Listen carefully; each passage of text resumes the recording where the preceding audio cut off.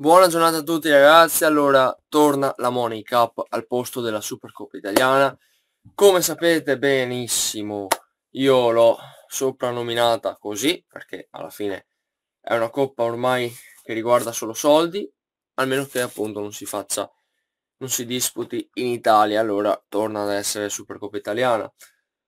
Allora c'è chi dice che si fa sta Supercoppa in Arabia, in Cina, in Qatar per eh, esportare il prodotto italiano all'estero.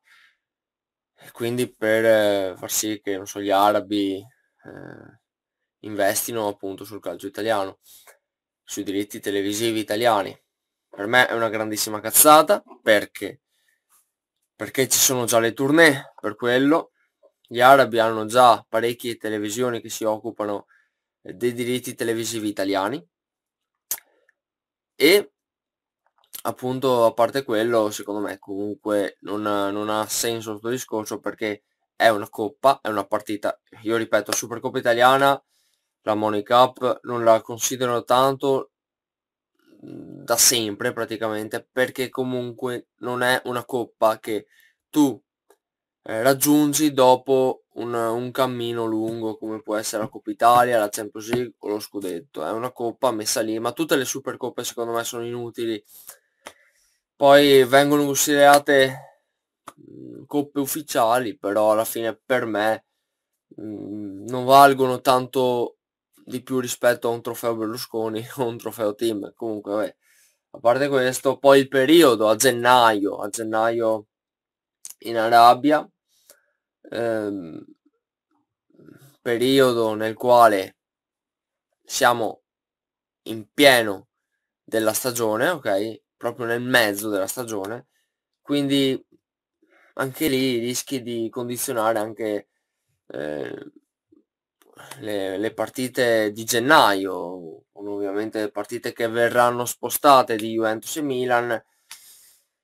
Vabbè, io ormai sapete come la penso su questa cosa qui, sul rispetto per i tifosi italiani che non c'è più, perché comunque i tifosi di Juventus e Milan sono in Italia, per la maggior parte, o quantomeno non sono sicuramente in Arabia Saudita, vabbè.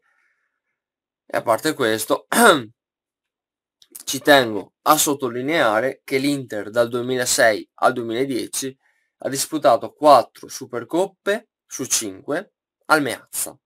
La Juventus 6 Supercoppe su 6, ok, non disputate allo stadium.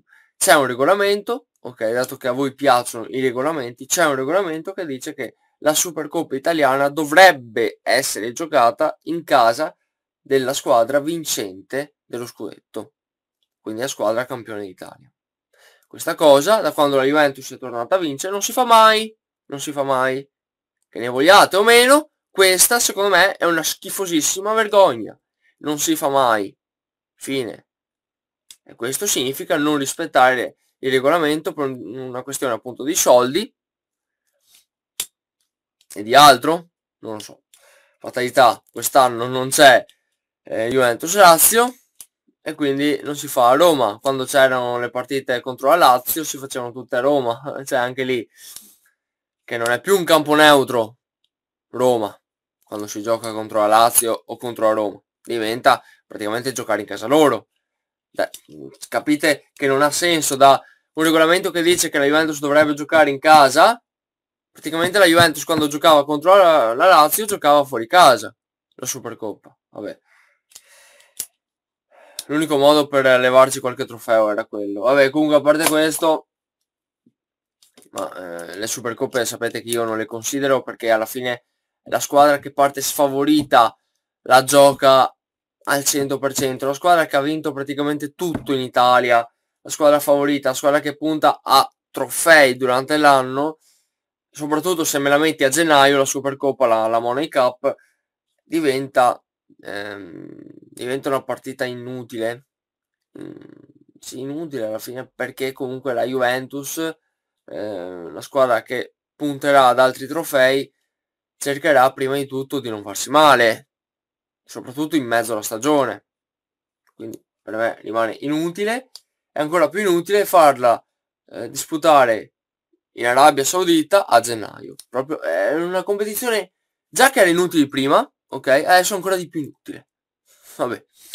Comunque, questo è il mio pensiero, ragazzi. Ehm, boh, ehm, io, io, veramente non so. Ci sono altri modi, secondo me. Ripeto, le tournée che fanno Juventus, Inter, Milan, Roma, eh, Roma e basta.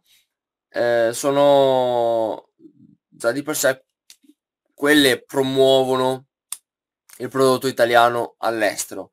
Poi com'è che puoi promuovere il prodotto italiano? Facendo bene in Champions League. Ok?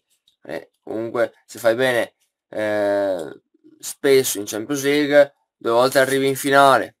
Eh, una volta l- rischi di eliminare il Bayern Monaco, l'altra volta il Real Madrid, perché alla fine sono state comunque tutte partite bellissime, per quanto riguarda soprattutto ovviamente il ritorno contro Bayern Monaco e Real Madrid. Insomma, eh, di fatto che poi dicono eh, la Juventus, che ripeto, Allegri secondo me doveva cambiare dopo Cardiff, però considerando quello che dicono sempre del gioco brutto di Allegri e il gioco brutto della Juventus, per me le partite più belle di questi ultimi anni fatte eh, e viste anche da neutrale, chi, chi, vi, chi, le ha viste neutralmente, insomma, sono proprio state Bayern Monaco Juventus e Juventus e Real Madrid Juventus, perché con, come emozioni secondo me ha veramente mh, prodotto tanto, hanno prodotto tanto queste partite, quindi anche appunto andando in Champions League, andando avanti in Champions League, promuovi il prodotto italiano all'estero. È quello che bisogna poi ovviamente, ripeto, la Champions League per noi, come per tutte le altre scuole italiane, è utopia in questo momento. Penso sia onesto dirlo. Però tornando alla Money Cup, voi sapete il mio pensiero perché ogni anno praticamente mi trovo a fare questo tipo di video. E, e niente, soprattutto la, vergo la vergogna, secondo me sì, è una vergogna perché l'Inter ha giocato appunto 4 volte su 5 la Supercoppa italiana al Meazza, la Juventus mai allo Stadium e questa secondo me è una grandissima vergogna, anzi ha giocato due volte, due tre volte fuori casa praticamente perché ha giocato contro la Lazio, vabbè, io in casa degli altri praticamente. Va bene così. Ditemi la vostra, cosa ne pensate e ci vediamo al prossimo video, sempre fino alla fine.